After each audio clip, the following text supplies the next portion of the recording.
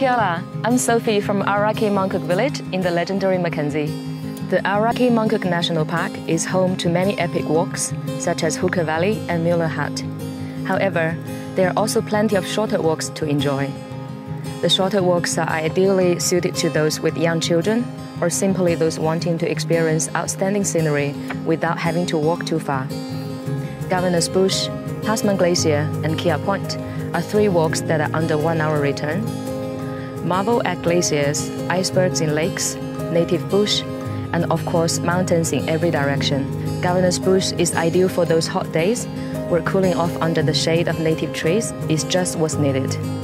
Aoraki short walks, just one reason why you should visit the legendary Mackenzie.